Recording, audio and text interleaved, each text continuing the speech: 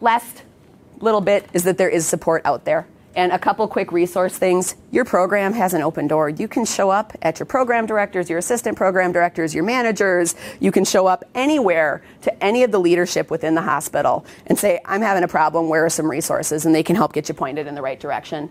Psychiatry can get you quick appointments, and we can sort of sometimes help grease the wheels a little bit if there's something acute going on.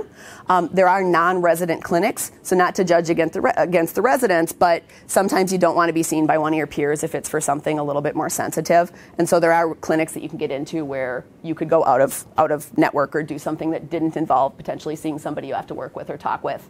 Resident assistant program, you guys will get other information on it, um, but there is a ton of there are a ton of resources out there, both through that and employee health or employee services here um, that you guys have hopefully gotten the information on. And RAP's just a great one because they focus on physicians and they have day and evening hours, so it's not just nine to five.